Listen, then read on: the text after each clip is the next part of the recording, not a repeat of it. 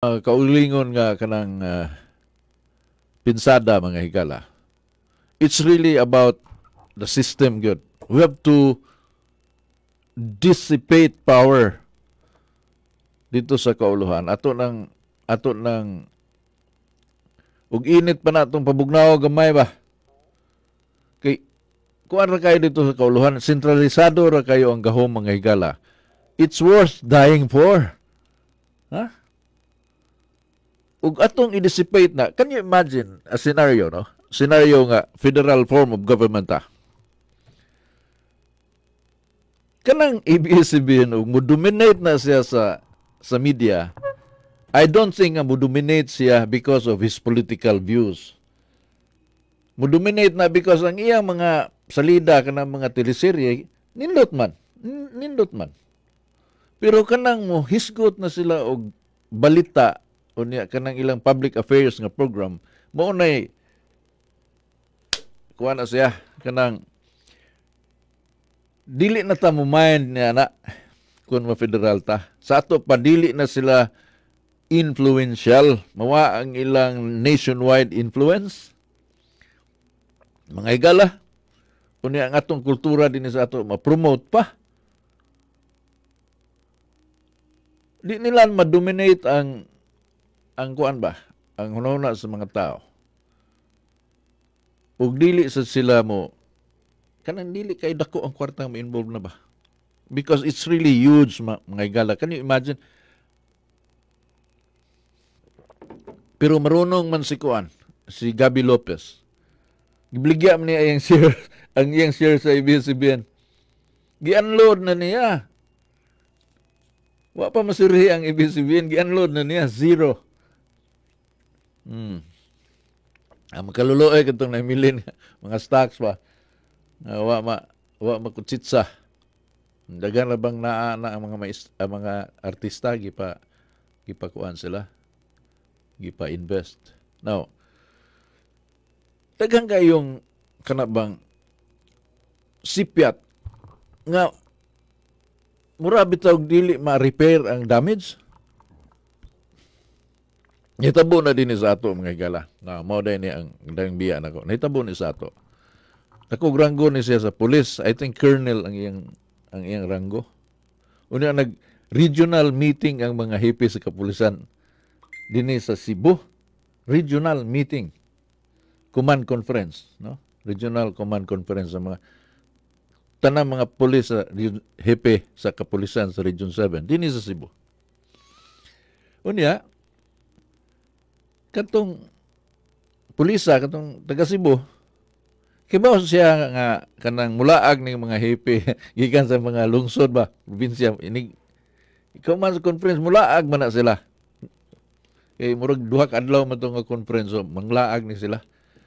So ang mga kanang mga watering holes mga higala na iyang giadto dito giingnan niya nga ayaw giigaan mga nako mga bisita ha ano ba? Bantay makadungog ko. Iya lang giwarningan ang mga establishments nga mga bars ba? Nga sagad adtuon kanang naay magsaysayaw ana ba? Naay magbikini-bikini ana ba? Iyang gipangadto na. Giingnan daan ang mga nagduma nga ayaw iga ka bang muinom og dagang kayong ladies drink? Una mahal kayo na So, gi gi pahibaw andan nga uinom sila imna pero ayaw iga na mga lilis drink lilis drink bagay mga bisita ni nako something like that.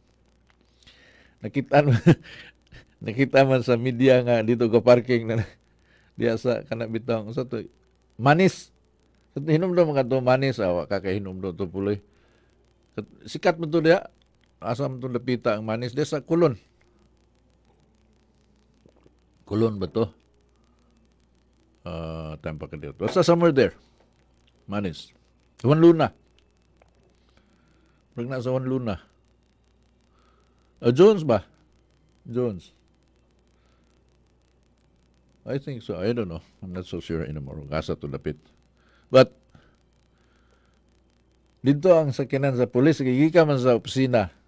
Ya, samtang sayo pa, mga alas 5 pasado na. Iyan ang gisuroy daan. Ya, padung na to sa muli sa ila. nga parking dito sa balita bitaw na sakyanan sa kapulisan gigamit og pamurikat. O pangabang. Giing na gi-report man nga gigamit og pangabang ano niya gibirahan na sa komentarista dito. Sus. Ang iyang asawa no? Ang iyang asawa maestra o niya ang ilang anak scholar sa UP yaya yun. Kanang yung namatay man yun siya gi giatake sa kasing-kasing unya nanawag ang asawa nako Nawag sa istasyon ba? On air. Hindi mo to yung mo padayag lang sa siyang gibati kanang din amang ko mabuhi to yang ama uh, yang bana pero iya lang ko nung ipalanog yang kay, kay ubos. Kung nganong wa man nimo tawaga tong istasyon nga mo nag kuana na hinungdan nga may isang put gyud kamatay mo kamatayon sa mo bana. Ingon siya niya, ug ug iya ug iya ko nung ikiha mabuhi pa ba iyang bana. Oh, oh niya nganong ni amo kamutingog ning akong istasyon ang tubag niya, di man ko katingog dito. Basta akong bana, mutingog dito, ingnom lang nung kiha. Pagkihaon. I mean, it goes with responsibility, mga higala, kini freedom of the press. Now, doon ay pagsaway ang sa ni sila. Ah, CCPC. Kining CCPC mga higala, Cebu Citizens Press Council. Cebu Citizens Press Council. Wa ko kibaw kinsay mga officials ni pero gi-quote maguno siya sa usa sa mga uh, column sa The Freeman. May buntag sa kong brother nga si Danny Tan na ako'y supply sa Freeman kada. Delivered. Salamat kayo bay. Unya uh, matod pa iyang gi-quote no sa usa sa mga columns aning uh, The Freeman. Ingon siya, the ABS matod pa sa CCPC, Cebu Citizens Press Council. Quote, the ABS, the ABS-CBN controversy would not have evolved into a press freedom issue if there was no repeated public threat to close down the network from the highest official of the land which firmed up suspicion about the long legislative long legislative inaction. Kani akong i-emphasize ni. Tungod ko no sa repeated no uh, public threat to close down the network from the highest official of the land, meaning si Duterte, which firmed up suspicion about the long legislative inaction. Mao kunoy mi paligon ngano nga long legislative inaction. Wa trabaho sa kongreso. And later intensive scrutiny of the network's alleged violations unquote. So mao ni ang basic yun nga kanang tema sa Cebu Citizens Press Council sa ilang statement mga igala uh, related to death of press freedom. I beg to disagree. Naman sa, sa media. Uh, I mean, this is just my own, I would like to emphasize, this is just my own personal opinion. I disagree with this. In the first place, kanang long legislative inaction, kanang walihuka, it was submitted in 2014 Unsa man si Duterte atong 2014? Presidente ba?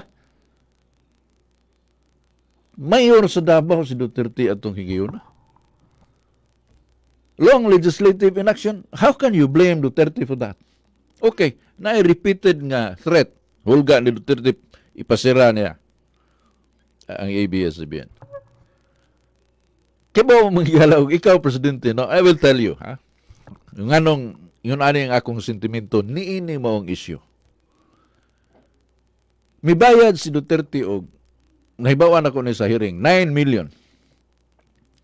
Bitsa 2, 3, 4, 5, ana, kanang katapusan si Mana sa kampanya, kay wa man say kwartang i-gasto sa media. So iyang gi strategic strategic ang iyang placement sa iyang infomercial mga igala. Wa man na i-air na ako na mga provincial stations nga may air ni ana or na i-air ba to sa Manila? Niya wa ma-air sa provincial stations whichever mga igala because nakadaog naman sa Duterte he doesn't really care anymore. The fact lang nga iyang ikiyaog sa tunang kiyang imong gidawat akong kwarta pirma tag kontrata wa nimo i-air? Ang akong gibayra na? So kana mo ni hinungdan nga gi masuko si Duterte ana mo mo andar si Duterte. Labi na og kanabang na issue nga kuninitan siya no? Tinuod man sana. Ingon siya sa ABS-CBN nga di kay ba man siya nga yayay gyud ang ABS-CBN mo yayay gyud. Kay mo hupas naman ang muhupas na ang ang iyahang ko ang mga igala kanini ang franchise. Now, kanang franchise gihatag na niya tong 1995. Kongreso na grant niya na sa ABS-CBN. Renewal for 25 years. Ang kanang paghatag na in 1995 kinsa magmagdahom nga na ay Yolanda mo abot ang pitsaha ini pupos sa 25 katuig amo dili Yolanda. COVID. COVID-19 kinsa may makatubag na? Kay mao sila pag grant niya na 25 years ago nga ini ka Mayo sa na pizza 4 muhupas na nga franchise. So kana mo ingon nga na COVID ana gisirhan. Oh, mihupas mihupas unya na ay regulatory body nga ug di mo himog aksyon. Dereliction of duty mga higala. Unya na musuda yon ng katahap nga pila ka gibayad sa IBS ani mga kagawa nga ang expire. Na manggoy complainant.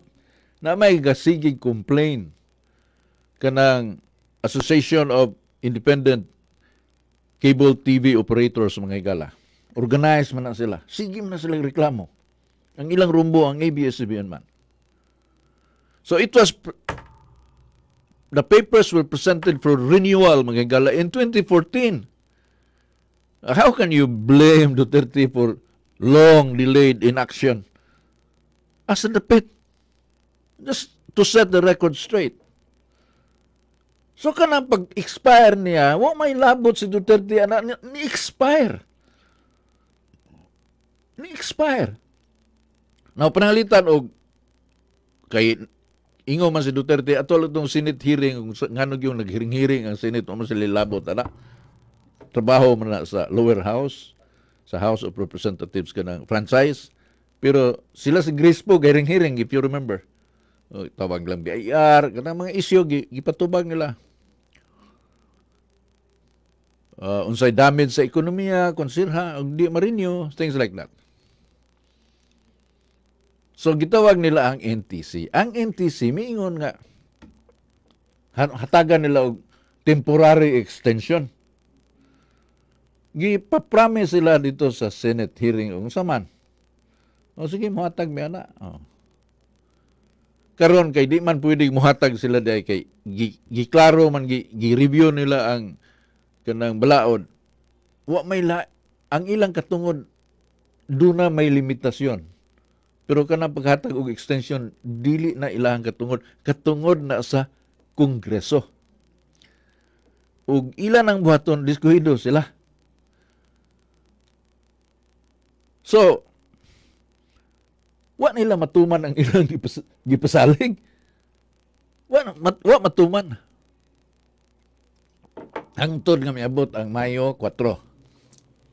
Nga mihupas ang mihupas gyud ang kining franchise. So, gapada og cease and desist order ang NTC. Wala COVID na ta. Lockdown na. Pero, abot man sa pizza, nga masirhan gyud sila. Mapawang gyud sila kay wa man ma-extend. Wa man sila katungod nga mo extend. Unya, kanang long delayed dili nimo mabasol ang kininiyang unsa to nga Congress karon. Kadto sa una basula. Wa kani sila rong bag-o ayaw ni gi-appeal og basol ninyo. Kay wa man sila mo delay. Pag present ani diha wa makalindar.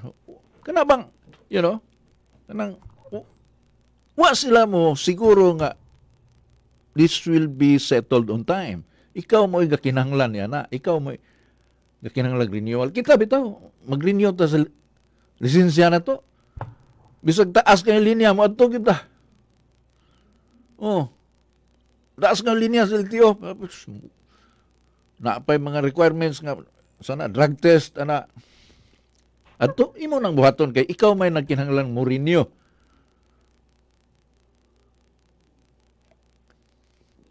Sila ay nagkinalang mo renew. Ug di ma-renew, billion ang malkansi nila. They should have prepared. Di ba? Simple ka na sabton. Ikabot yun. Of course, ilang gi-present in 2014. Nga nang pangutana, nga nung o man ito maprobay. Nga si Pinoy may presidente ato. Oh. Pag-abot sa panahon na Duterte, ilang gi-present na po Dihay por dihay gi-withdraw o niya gi bag-o na pong gi-present mga higala kung ang akong chronology of events is accurate. Wa na panahon kay kanang sa kongreso ikalendaryo na nilang ilang activities. Usa may imong ikalendaryo og wa i-present.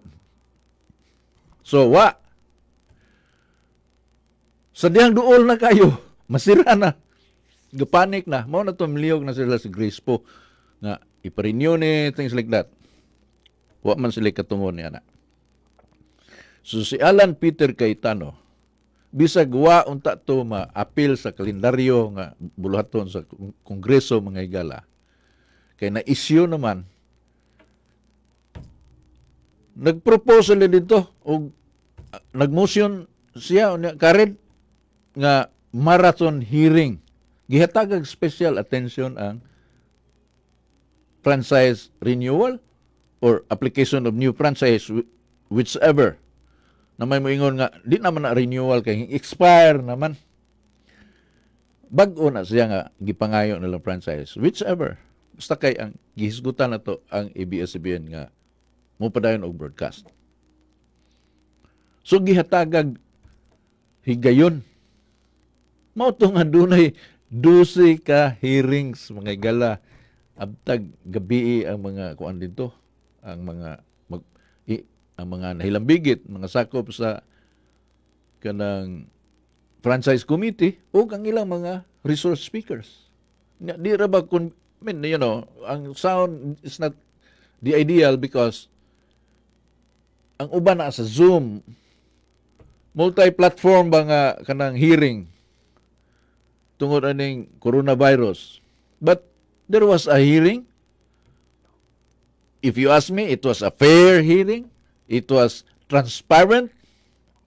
Asa man dapit dia ang curtailment of press freedom. Mao man ay proseso. That is the process. Ug law-abiding citizen ka, you, you advocate law and order, due process. What what is that due process that you're really asking for when exactly gihimo ang due process? Di man ganyan na due process kay nganong magdali-dali man sila nga man magkalendaryo na.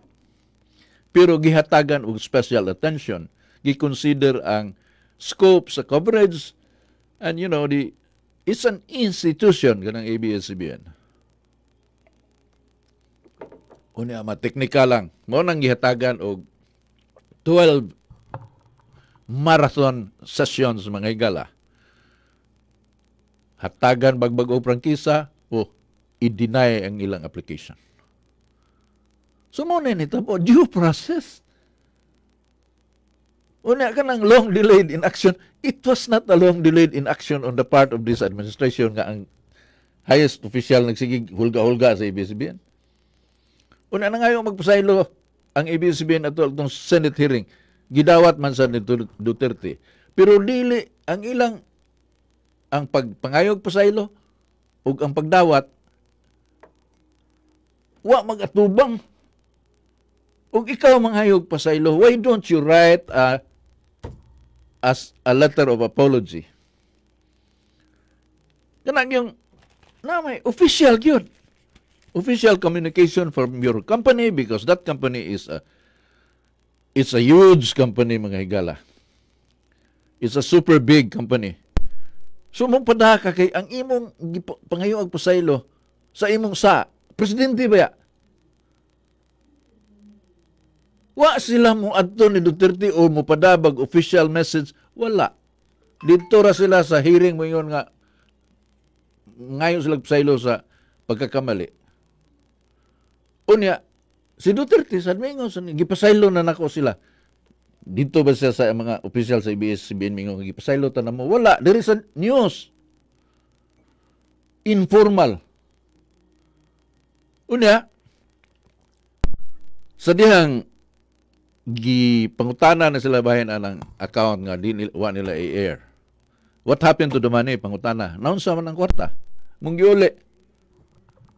Giuli. Kinsa man yung giulian? Katong, kuan, unsa na tinagalog na. Basta kay kanang representative. Representative ni Duterte. Giuli. Minus ang nagasto. Kay da ako na yung mga na-air gyud adto. So, ang nahimilin, gi uli tagi tagi 1 million kapin karon unya pagsunod hatag 2 months after masiguro 700 kapin mil. Na ay balance nga 2 million kapin. Oh wala ay hatag na nila niya gidonate karong bag-o karon ng 2020 gidonate sa kanang charity o Duterte's preference kanang mga bata nga dunay cancer. Tuwa dito ang 2 million kapin gihatag sa ABS-CBN for and in behalf of the President. Kaya man nila, di naman dawaton itong kwartahan ni Duterte, ingo mas Duterte, sa news gihapon, nga ipadonate na nila, asa na nila idonate, di na kumudawat na. So gidonate nila. Gipangutana. Gidonate. Oh, unsa may inyong group, kinsa man ang inyong gi dunitan. Ano ba? Ingon tong news director sa news director I think sa ABS-CBN nga ang paborito nga ko ani Duterte kanang charity kanang boys with cancer. Mm. Okay. Kanang kinsa man tong desisyon uh, mo pagbuot sa Duterte giingnan mo sa presidente nga mo na inyong hatagan sa kwarta i-donate dito Kay bao ka, ingon ingon siya nga. Mo may iyang gisulti sa news. Gisulti man sa news. Kay supposed to be, i-deposito ko na sa bangko. Di mo dawat ang kuan. I-deposito na mo na sa bangko. Ang procedure ni anak mga utangan ka, anak kay bayranan, o niya, di na, di na dawaton tumong ibayad sa ngitag bikil ba? Di na, di na dawaton. What you do is, i-deposito i-deposito na sa bangko kanang kwarta ha. Meaning nga, you're willing to pay. Na ay kwarta sa matter of fact, pero wa naman niya, niya dawata. Akong deposito. Anytime nga, gusto siya dawat na ang ha. Wa nila na buhata. Wasa sila mo padagi yung official letter sa president. You know, it happened after the election, mga igala. Nga, gisug, gasugod sila og uli sa kwarta. When, or, nagpahibaw sila nga wa ma-air makita mas ga-obserbar kung na mga kandidato, wa man mo gawa sa akong komersyal. Hmm. So, ilang gingnan nga, tungod, dagan sila rason nga, kuang kuno, tungod kay first come, first serve. Di gapon tinuod nga rason. Namulitik ka sila. Namulitik ka Unya, nakadaog naman si Duterte, presumpt, presumptive president. Wa pa mo take off, apan dili na malalis ang iyang kadaogan. So you are dealing now with an incoming president. Wag yung kay courtesy nga mo padag apology. Pinaagi sa official letter. Unya kanang mode of returning the money imong hatagag wa wala disrespectful mga higala. Pero okay. Ibutang na to gadumot si Duterte. Unsa may gihimong Duterte aron masira ng ABS-CBN? Gi siguro man gani nga marathon hearing initiative sa Ubos Bible Oranan pinagi ni Alan Peter Cayetano o gilatan sa siya ini sa social media sa mga DDS. Pero ako, ako mulata ni Cayetano kay angay lang, okay, og mao na isyu sa Senado atong hiringon dire kay kamo may dunay katungod. So hiringon na to. Aron mo mugawas ang si tinuod og gihiring mga gala. Asa dapit ang de- death of press freedom diha. Di ko kasabot gyud. Di unsa man ato lang i-allow ng mulapas ta sa balaod. Kay ka na mo ingon nga gitunong to, pandemic god nganong gitunong god. Wa man na itunong, natunong. Natunong. Wa na gitunong. Nga atlan lang natunong. Kay 25 katuig man ang kinabuhi sa franchise. Muhupas man na siya kay 25 katuig regot. Pag Mayo 4, mihupas man. Na may income, Unsa mo lang ta nga ato sang i-suspend ang balaod kay nay income. Mo to ilang gipangayo nga ipa-extend sa NTC. Now, og inato lang pwede na na may balaod were governed by laws. So ang NTC realize kay si Kalida ga-file man sa dito sa Supreme Court. Kato ka Kalida ko ang gito kanang ingnon tampo nga og mulusot tong ka Kalida, mahimo na tong ipasangil Duterte ito. Mga katong iyang kuwaranto case, which was dismissed, tungod sa kay gahiring naman, o may expire naman ang application, or rather ang ang may expire naman ang franchise. Mao nga ang kaso ni Kalida nahimo sang moot and academic. Mo tong gidismiss sa Supreme Court. Kay unsa pa may atong i kuwaranto nga ni expire naman. Hmm, di ba So, mao na nitabo mga higala. Now, wala na ituno nga inkob, na, insensitive ang gobyerno. Wala. Natunong. Because when it was granted 25 years ago, who would have thought nga maigo ta coronavirus? Inig-abot ng Mayo Sayas 2020. O 4. Wala tuyo.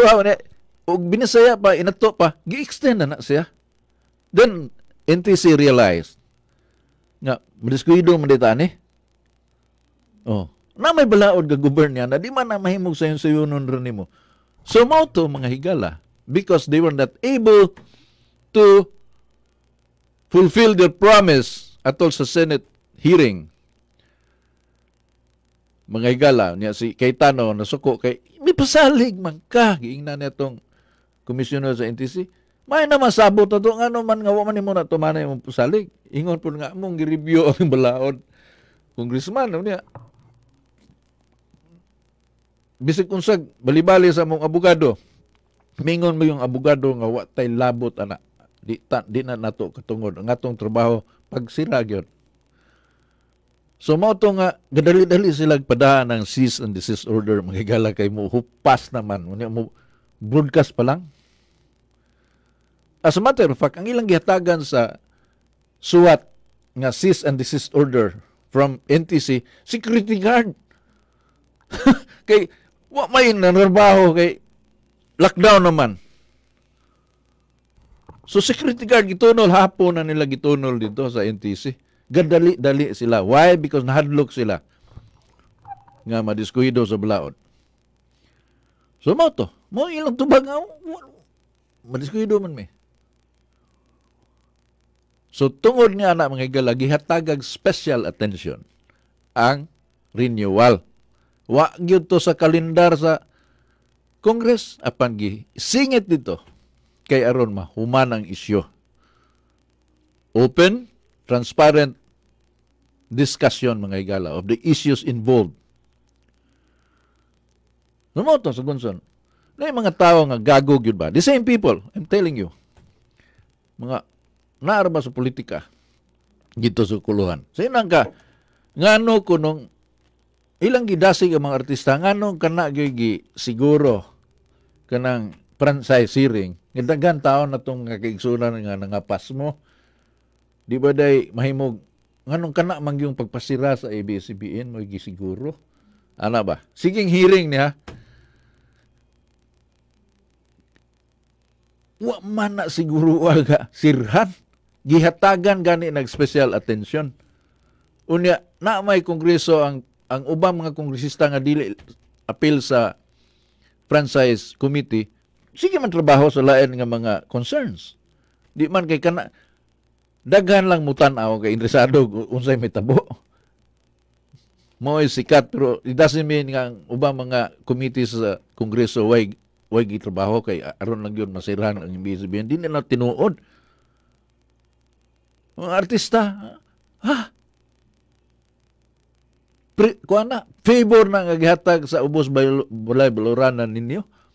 Unya mo ingon mo nga ngano ka na siguroon nga na may dagang gikinanglan ang nasud daghan at mga kaigsunan nga gigutom pagkapinan pag gigutom in town. Stak ni mala drama ba? Unya but that is that is not true Kung gusto taga matuuran, atong iladlad ta na. Total, ang mga tao, again, as I've said many times over.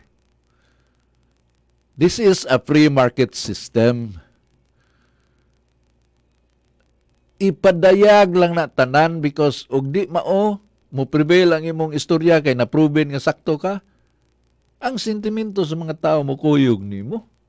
Because the consumer is king under this system. Ang katawhan mo ay hari nini. O, sa kalampusan sa imong gibaligya. Consumidor is the king. And this is the free market of ideas. If you prevail there, then you're mo decide appropriately ang mga tao. So there is no kanang substitute for a, an impartial, transparent discussion, mga higala, base sa balaod. Mao na nga ang maningog dito muhurar. Kay mamaka ka din eh, mag na kay kaso ini human ani nga hearing. Muhural ka. Ayaw pa makak din eh. Kay mapinjure ka dire. So, musalig sa istorya. May bawan mo kung sige na makak ba? May bawan man mo nga mo palusot. There is no death of press freedom. Come on, man. You're pushing, ug ako pangutanon, that's quite a stretch. Death of press freedom. I sympathize with the employees, mga gala. Dagang kong amigo diyan I know nga sincero sila sa, sa ilang trabaho. These are idealistic people.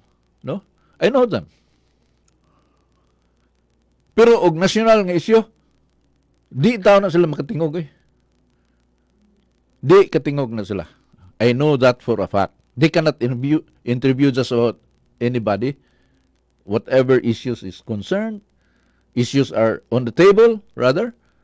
They cannot just interview news sources without the approval of Manila. Kining ato mga kaigsunan din eh. That is God's honest truth, mga higala. Because ABS-CBN National is playing partisan politics since time immemorial. They used to be kingmakers until social media came into the picture. Kingmakers na sila, they can make or break a politician. They played partisan politics, mga higala. Dili na ma-deny di na ma-deny. Ug wa ka kibaw ni ana din makasabot ko sa imong baruganan pero nasayod ka niya na makaingon gyud nga abusado na sila. You know, franchise is not your right. It is a privilege given or granted to you for 25 years by the state. You take care of that. That includes responsibility.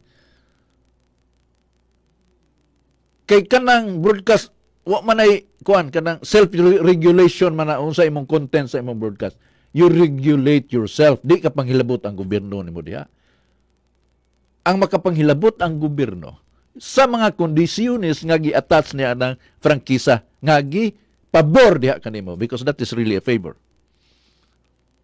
don't abuse that so dihang napita disgrasya ang ABS-CBN nganong imo mang lisod-lisoron ang estado nga gahatag nimo sa prangkisa aron ka makasapi og binilyon. Di ka mo bayad og buhis mag magpakiha pag ka sa gobyerno. Di man sila mo bayad dito magpakiha man sila. Kiha ug unsay ipaningil sa BIR di sila bayad kay di wa sila kauyon sa kwintada. So mukiha kiha na hantod nga mo resulta og compromise agreement Unya sa compromise agreement mga igala, ang gobyerno, meaning BIR, makapakanaog sa ilang paningil kutob sa 40%. Mo na balaod sa akong nasayran sa hearing.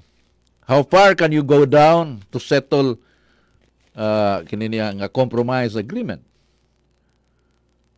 40%.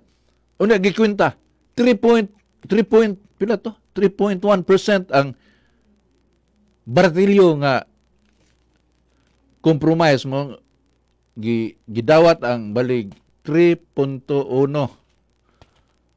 nga porsyento nga di unta nganong 3 40 raman sa balaod nga abot nag 3 kapin na lang. Mao na nga pagkwenta sa overall nga gibayran ang GMA which is a smaller network paid something like 1.4 billion for one year napoy tuig nga bibayad og 1.6 billion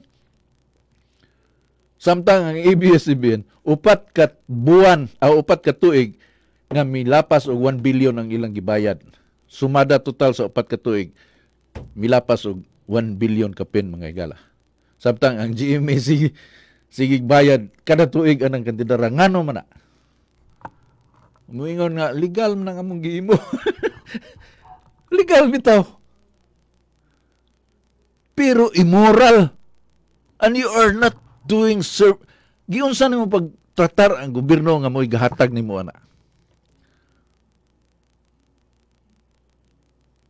anang maong pabor pribilehiyo imong lisod-lisoron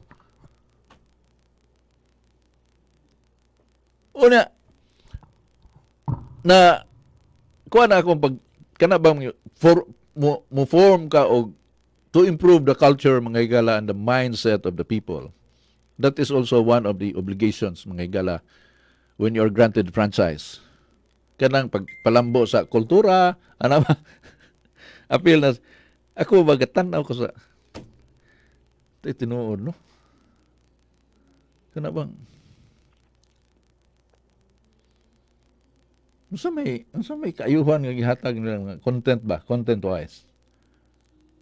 Kana mga salida gi-take up man I was I was kana bang naka hinuklog ko mga igala sa kana bang simple kayo nga teleserye for instance? Ang congressman diha kurakot jud Nagabantay ka? Ang mga politiko nga kurakot jud, wa gyud salida nga dili kurakot na mayor, gobernador na nang mga teleserye ba? Fiction guna pero ang mga pulis kurakot. Oh, na pwede. Pero ang mga nasa gobyerno kurakot. How can you improve? You're not promoting the institution. You're destroying the institution subliminally. That is how I read it. How can you allow that to happen? In the name of press freedom? You ask me? It's a big BS. Upadayon sa naman sa mga pahinumdom, 11 minutos sa dili pa ang alas 9, tak nagyatod ka nato, uban mo sa University of San Carlos. Education with a mission.